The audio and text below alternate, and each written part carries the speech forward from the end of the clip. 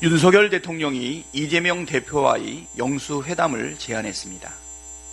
2년 만에 첫 영수회담입니다. 만시지탄이지만 환영합니다. 거듭되는 민생경제 위기를 극복하기 위해 대통령이 야당을 국정 운영의 파트너로 인정하고 대화와 협력을 추구하는 것은 마땅히 해야 할 일이기 때문입니다. 한편으로 윤석열 대통령의 총선 결과에 대한 인식은 매우 우려스럽습니다. 총선에서 나타난 민심은 윤석열 정권의 국정 운영 기조와 태도에 대한 명확한 심판이었습니다. 그런데 윤석열 대통령이 총선 이후 발신한 메시지는 이와는 정반대였습니다. 국정 철학은 옳은데 소통이 부족했다. 나는 잘했지만 국민이 몰라준다는 식의 인식을 드러냈습니다. 윤석열 대통령이 정말 이런 생각을 갖고 있다면 앞으로 바뀌는 게 과연 있을지 의문입니다.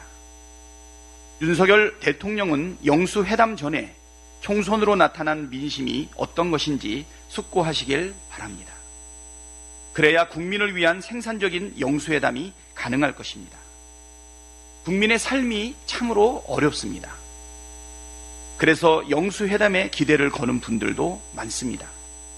특히 전 국민 25만원 민생회복 지원금 지급 수용은 대통령이 민생경제 회복에 관심을 갖고 있다는 것을 보여줄 좋은 기회입니다. 민생회복 지원금은 포퓰리즘이 아니라 민생회복 경제 대책입니다.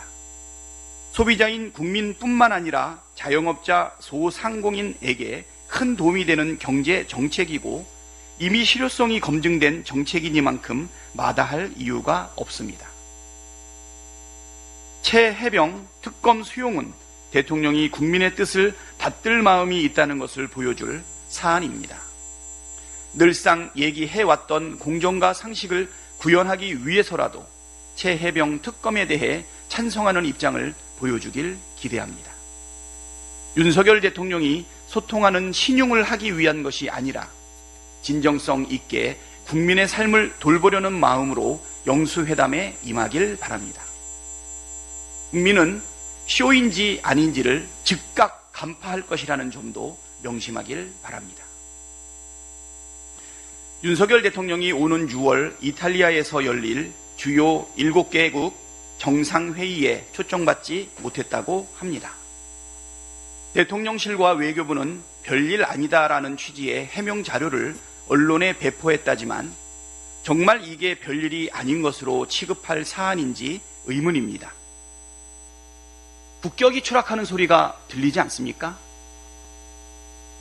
우리나라가 G7 정상회의에 처음 초청받은 2020년 이후 총 5차례 정상회의가 열렸는데 이 중 초청받지 못한 두 차례 모두 윤 대통령 임기 중인 2022년과 2024년입니다. 반면 인도는 한 번도 빠지지 않고 초청받았습니다. 별일 아니라는 식으로 평가절하할 일이 결코 아닙니다. 윤석열 대통령과 정부의 이념 편향 외교가 부른 결과물이라고 보는 것이 합리적입니다. 국격 초락으로 피해를 보는 것은 우리 국민입니다. 지금이라도 국익 중심, 실용 외교 노선으로 선회하길 촉구합니다.